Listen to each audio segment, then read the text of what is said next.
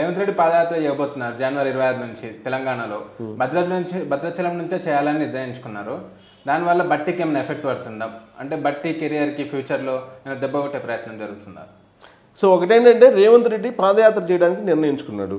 So అయితే AICC నుంచి ఆయనకి సంకేతాలు ఉన్నాయా? ఏఐసిసి చెప్పిన దాని మేరకు ఆయన పాదయాత్ర చేస్తున్నాడా అనేది ఒక క్వశ్చన్. అంటే ఏఐసిసి ఇప్పటివరకు రేవంత్ రెడ్డికి పాదయాత్ర చేయమని చెప్పి స్పష్టంగా సంకేతాలు ఇచ్చినట్టు ఎక్కడ కూడా స్పష్టంగా లేవు. ఒకవేళ అదే కనుకుంటే ఏఐసిసిఏ డైరెక్ట్గా ప్రెస్ మీట్ పెట్టి అనౌన్స్ చేసేటువంటి అవకాశం ఉంది. అలాంటి ప్రక్రియ జరగలేదు. అలాంటి ప్రయత్నం ఎక్కడ కూడా జరగలేదు. పైగా మహేష్ కుమార్ గౌడ్ కార్యక్రమాల కమిటీ ఇన్ఛార్జ్ ఉన్నారు. ఆయన కూడా ఎక్కడ కూడా రేవంత్ రెడ్డి పాదయాత్రకు సంబంధించి ప్రెస్ మీట్ పెట్టి చెప్పలేదు. కేవలం రేవంత్ రెడ్డి మాత్రమే నేను పాదయాత్ర చేస్తున్నాను జనవరి ఇరవై ఆరో తారీఖు నుంచి అని చెప్పి చెప్తున్నాడు. దానికి సంబంధించి అన్ని ఏర్పాట్లు రేవంత్ రెడ్డికి సంబంధించిన అనుచరులు చేస్తూ ఉన్నారు. అయితే విచిత్రంగా ఆయన భద్రాచలం నుంచి పాదయాత్రను ప్రారంభించాలనేటువంటి ఒక నిర్ణయం అయితే తీసుకున్నారు భద్రాచలం నుంచి ఎందుకు తీసుకున్నారు అనేటువంటి ప్రశ్న అలాంటి ఇప్పుడు దుమారం ఇప్పుడు కాంగ్రెస్ పార్టీలో అంతర్గతంగా మొదలైంది. ఎందుకంటే అక్కడ భట్టి విక్రమార్క ప్రధానంగా ఖమ్మం లీడర్ అంటే ఖమ్మంలో కాంగ్రెస్ పార్టీకి బలమైన లీడరు లేదంటే ఇప్పుడు శాసనసభ పక్ష కాంగ్రెస్ పార్టీకి ఉన్నారు కాబట్టి ఆయన లీడర్గా ఉన్నారు కాబట్టి భట్టి విక్రమార్క. గతంలో కూడా భట్టి విక్రమార్క అక్కడ పాదయాత్రలు చేశాడు ఆయన. ఖమ్మం బేస్ చేసుకొని పాదయాత్రలు అనేక సమస్యల మీద చేసి- చేయడం జరిగింది. పోడు భూముల విషయంలో జరిగింది. అలాగే రైతులకు సంబంధించినటువంటి అంశాల మీద కూడా ఆయన పాదయాత్ర చేశాడు. ఇప్పుడు రేవంత్ రెడ్డి అసలు ఎందుకు భద్రాచలం నుంచి పాదయాత్రను ప్రారంభించాలనుకున్నాడు? ఒకటి పాదయాత్ర అసలు ఉంటుందా లేదా? పాదయాత్ర ఏసీసీ ఆదేశం మేరకు ఆయన చేస్తున్నాడా లేదా ఆయన సొంతంగా చేస్తున్నాడా అనేది ఒకటైతే రెండేంటంటే అసలు భద్రాచలం నుంచి ఆయన ఎందుకు ఎందుకు చేసుకున్నాడు అనేది రెండోది. ఒకటే ఒకటేంటంటే ఒకవైపు ఏమో కాంగ్రెస్ పార్టీకి సంబంధించినటువంటి సీనియర్లకి రేవంత్ రెడ్డికి రేవంత్ రెడ్డి వర్గీయులకు పడినటువంటి సందర్భాన్ని మనం చూస్తున్నాం.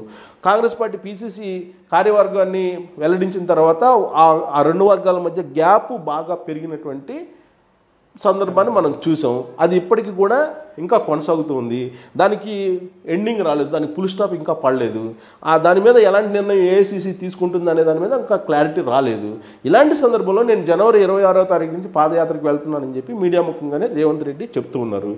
ఇదొక అంశం. దీని మీద ఎవరు కూడా పాదయాత్ర ఎందుకు చేస్తావు? ఎలా చేస్తావు? ఎందుకు చేస్తున్నావు? అని చెప్పి ఎవరు కూడా కాంగ్రెస్ పార్టీ ఉన్నటువంటి సీనియర్లు ఇప్పటివరకు కూడా ప్రశ్నించలేదు.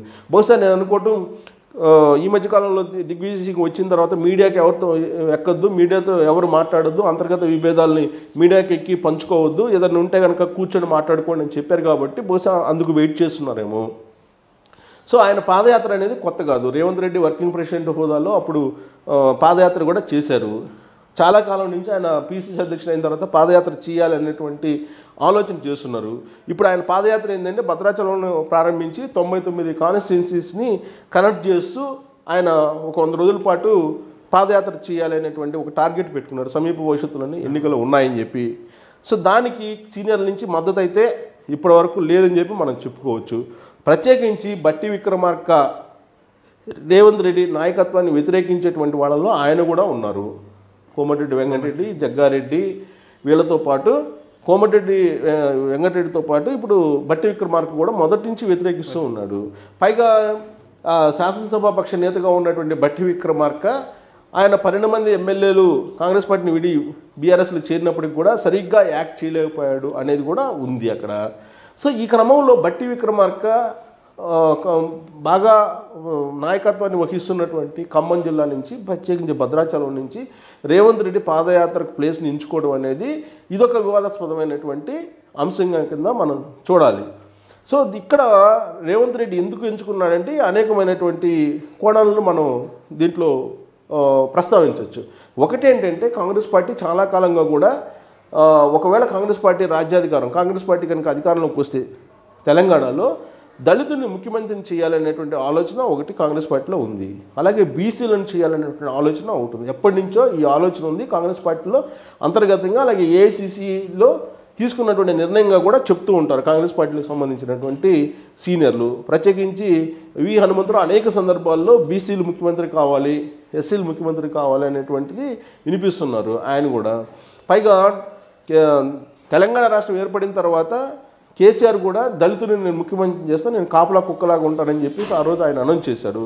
అనౌన్స్ చేసిన తర్వాత తీరా టీఆర్ఎస్ పార్టీ రెండు వేల పద్నాలుగులో అధికారంలోకి వచ్చిన తర్వాత బంగారు తెలంగాణ కావాలంటే కనుక నేనే ముఖ్యమంత్రిగా ఉండాలని చెప్పి ఆయన ముఖ్యమంత్రి అయ్యి రెండోసారి కూడా ఆయన రెండు వేల పద్దెనిమిదిలో ముఖ్యమంత్రి అయ్యారు. సో ఆ రోజు నుంచి కూడా దళితుని ముఖ్యమంత్రిని చేస్తానని చెప్పావు నువ్వు ఎందుకు చేయలేకపోయావు నువ్వు ఎందుకు చేయలేదని చెప్పి కాంగ్రెస్ పార్టీ నిలదీస్తూ ఉంది. సో ఈ క్రమంలో రాబోయేటువంటి రోజుల్లో కాంగ్రెస్ పార్టీ రాజ్యాధికారం కనుక వస్తే బీసీలకా లేదంటే ఎస్సీలకు ముఖ్యమంత్రి పదవిని అప్పచెప్పాలి అనేటువంటి ఒక ఆలోచన అధిష్టానంలో ఉందని చెప్పి చాలా కాలంగా వినిపిస్తూ ఉంది. ఆ క్రమంలో ఇక్కడ మొదటి వరుసలో ముఖ్యమంత్రిగా ఉండేటువంటి ముఖ్యమంత్రి అభ్యర్థిగా ఉండేటువంటి వాళ్ళు ఎవరైనా ఉన్నారంటే బట్టి విక్రమార్క పేరు వినిపిస్తుంది. ఎందుకంటే ఆల్రెడీ ఆయన కాంగ్రెస్ శాసనసభ పక్ష నేతగా ఉన్నారు. సో బట్టి విక్రమార్క కూడా పాదయాత్ర చేస్తున్నారు. అధిష్టానం దగ్గర కూడా ఆయనకి ఆయన మీద గుడ్ విల్ ఉంది. ఈ క్రమంలో ఒకవేళ దళితుడికి ముఖ్యమంత్రి ఇవ్వాలి అని అనుకుంటే కనుక బట్టి విక్రమార్క పేరు మొట్టమొదటి కనిపిస్తుంది. బహుశా ఆ కోణం నుంచి లెక్కేసుకుంటే బట్టి విక్రమార్క నాయకత్వాన్ని బలహీనపరచడం లేదంటే ఆయనకు ఉన్నటువంటి ఫోకస్ ఆయన మీద ఉన్నటువంటి ఫోకస్ని తగ్గించేటువంటి ప్రయత్నం రేవంత్ రెడ్డి చేసేటువంటి క్రమంలో పాదయాత్రను అక్కడి నుంచే ప్రారంభిస్తున్నారా? అంటే అక్కడి నుంచే ప్రారంభిస్తే అసలు బట్టి విక్రమార్క రేవంత్ రెడ్డి పాదయాత్రకు మద్దతు ఇస్తారా లేదని తెలిసిపోయేటువంటి అవకాశం ఉంది. ఒకవేళ బట్టి విక్రమార్క మద్దతు ఇవ్వకపోయినప్పటికీ కూడా రేవంత్ రెడ్డి పాదయాత్ర అక్కడి నుంచి ప్రారంభిస్తే అది కనుక సక్సెస్ అయితే ఆటోమేటిక్ ఆటోమేటిక్గా బట్టి విక్రమార్క యొక్క గ్రాఫ్ తగ్గిపోయేటువంటి అవకాశం ఉంది. అంటే రాబోయేటువంటి రోజుల్లో ముఖ్యమంత్రి అభ్యర్థిత్వానికి ఎవరైతే ఆయన ఆశిస్తున్నటువంటి బట్టి విక్రమార్క గ్రాఫ్ పడిపోతే ఆటోమేటిక్గా రేవంత్ రెడ్డి కాబోయేటువంటి ముఖ్యమంత్రి అనేటువంటిది ఫోకస్ అయ్యేటువంటి అవకాశం ఉంది. పైగా ఆయన అనేక సందర్భాల్లో నేనే ముఖ్యమంత్రికి రాబోయేటువంటి రోజుల్లో అధికారంలోకి వస్తే కాంగ్రెస్ పార్టీ ముఖ్యమంత్రిగా నేనే ఉంటానని చెప్పి అనేక సందర్భాల్లో బాహాటంగా చెప్తూ ఉన్నారు. సో ఈ క్రమంలో బట్టి విక్రమార్కనే టార్గెట్ చేశారా? భద్రాచలం నుంచి పాదయాత్రను ఎంపిక చేసుకోవడం వెనుక అనేది రేవంత్ రెడ్డికి సంబంధించినటువంటి వ్యతిరేక వర్గీయులు లేదంటే బట్టి విక్రమార్క యొక్క అనుచరులు కూడా అనుకుంటున్నటువంటి సందర్భాన్ని మనం చూస్తున్నాము.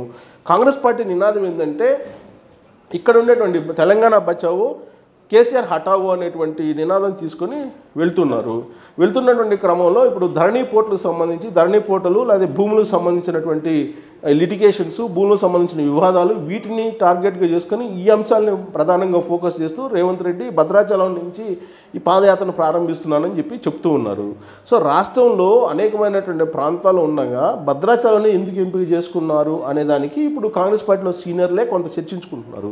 సో కే బట్టి విక్రమార్కిని టార్గెట్ చేశారా అనేది. ఇంకోటి ఏంటంటే మొన్నటి వరకు కూడా చిన్నారెడ్డి క్రమశిక్షణ సంఘం అధ్యక్షుడిగా ఉన్నటువంటి చిన్నారెడ్డి రేవంత్ రెడ్డికి అనుచరునిగా లేదా అనుచరునిగా కాకపోయినా సీనియర్ కాబట్టి అనుచరునిగా కాకపోయినా రేవంత్ రెడ్డి నాయకత్వాన్ని అంగీకరిస్తూ ఆయన నాయకత్వాన్ని బలోపేతం చేసేటువంటి లీడర్లలో ఒకళ్ళుగా చిన్నారెడ్డి ఉన్నారు. ఆయనకు కూడా ఈ మధ్య కాలంలో రేవంత్ రెడ్డి వర్గీయుల ద్వారా కొన్ని కొంత ఇబ్బంది కలిగిందని చెప్పి తెలుస్తుంది. సో ఈ పరిణామాలన్నీ కనుక చూస్తే రేవంత్ రెడ్డి చుట్టూ సమస్యలు అనేవి ముసురుకుంటున్నాయని చెప్పి చెప్పొచ్చు. సో దానికి తగ్గట్టు ఇప్పుడు భద్రాచలం నుంచి పాదయాత్రను అనౌన్స్ చేశారు కాబట్టి దాని రెప్లికేషన్స్ ఏ విధంగా ఉంటాయి? సో అది చూడాలి. భవిష్యత్తులో ఇప్పుడు బట్టి విక్రమార్క ఏ విధమైనటువంటి పావులు గదుపుతారు అనేది చూడాలి. ఇంకోటి ఏంటంటే ఖమ్మం రాజకీయానికి వచ్చేటప్పటికి ఖమ్మంలో కాంగ్రెస్ పార్టీ బలంగా ఉంది. మిగిలినటువంటి జిల్లాలన్నిటికన్నా కూడా. బహుశా ఆ కోణం నుంచి రేవంత్ రెడ్డి అక్కడి నుంచి ఎంపిక చేసుకున్నారా? పైగా ఇటీవల కాలంలో చంద్రబాబు నాయుడు అక్కడ మీటింగ్ పెట్టినప్పుడు భారీ సక్సెస్ అయ్యింది. సో మొత్తం తెలుగుదేశం పార్టీకి వెళ్ళిపోతున్నారు. కాంగ్రెస్ పార్టీ ఓట్ బ్యాంక్ అనేటువంటి ఉద్దేశంతో రేవంత్ రెడ్డి అక్కడి నుంచి పాదయాత్రను ప్రారంభిస్తున్నాడు. ఇక్కడ రకరకాల కపుల్ ఆఫ్ ఇష్యూస్ ఉన్నాయి. రేవంత్ రెడ్డి భద్రాచలం నుంచే ఎందుకు పాదయాత్ర ప్రారంభిస్తున్నాడు అనడానికి. ఒకటి ఏంటంటే పోడు భూముల ఇష్యూ చాలా సివియర్గా ఖమ్మం జిల్లాలోనే ఉంది. రెండేంటంటే భద్రాచలంలో ఆల్రెడీ బట్టి విక్రమార్క సిఎల్పి నేతగా ఉన్నాడు. అక్కడి నుంచి ఎందుకు స్టార్ట్ చేస్తున్నాడంటే అది నాయకత్వానికి సంబంధించి డిస్ప్యూట్ వచ్చేటువంటి అవకాశం ఉంది. సో ఆయన గ్రాఫ్ తగ్గించడానిక అనేది ఒకటి. రెండేంటంటే అక్కడ ఖమ్మం జిల్లాలో ఇటీవల కాలంలో తెలుగుదేశం పార్టీ కొంత బల బలోపేతం ఉంటుంది కాబట్టి దాన్ని తగ్గించేటువంటి ప్రయత్నమా? లేదు అక్కడ ఆల్రెడీ రేణుకా చౌదరి గ్రూపు అలాగే బట్టి విక్రమార్క గ్రూప్ అనేది రెండు ఖమ్మం జిల్లాలో కనిపిస్తూ ఉంటాయి ఎప్పుడు కూడా. సో అంతర్గతంగా అక్కడ విభేదాలు ఉన్నాయి కాంగ్రెస్ పార్టీలో. సో ఆ విభేదాలని సరిచేసేటువంటి ప్రయత్నం లేదంటే ఆ విభేదాల్లో ఒకవైపు రేవంత్ రెడ్డి ఆల్రెడీ బట్టి విక్రమానికి వ్యతిరేకంగా చేస్తున్నాడు కాబట్టి దాన్ని సక్సెస్ చేసేటువంటి ప్రయత్నం రేణుకా చౌదరి చేస్తుంది అనేటువంటి ఉద్దేశంతో అక్కడి నుంచి పెట్టారు. ఇట్లా కపుల్ ఆఫ్ ఇష్యూస్ చాలా ఉన్నాయి. సో మొత్తం మీద ఏంటంటే రేవంత్ రెడ్డి పాదయాత్ర అనేది ఒక పెద్ద ఇష్యూగా మరోసారి కాంగ్రెస్ పార్టీలో ఉండబోతుంది.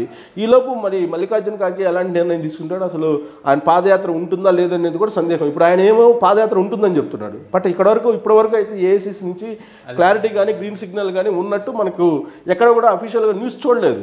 ప్లస్ సీనియర్లు కూడా మౌనంగా ఉన్నారు. సీనియర్లు కూడా ఎవరు కూడా దీని గురించి ప్రస్తావించట్లేదు.